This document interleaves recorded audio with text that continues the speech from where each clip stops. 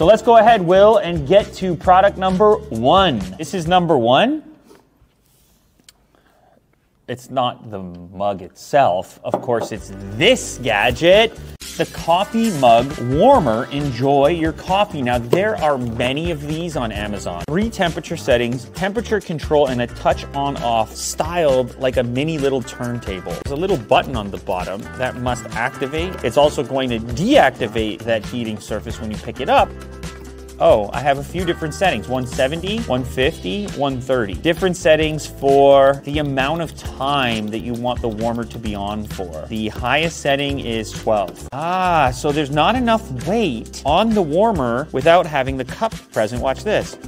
For the liquid, you need the liquid in it for it to work. So it's gonna be the weight of the cup and the coffee. Place it on here. I'm gonna just pop my hand there now. Oh yeah. Oh, ba- oh baby, that's hot. What is the rating currently on Amazon for this product? Currently sitting at a 4.6. And can we get a price? 22 bucks. Does not suck, ladies and gentlemen.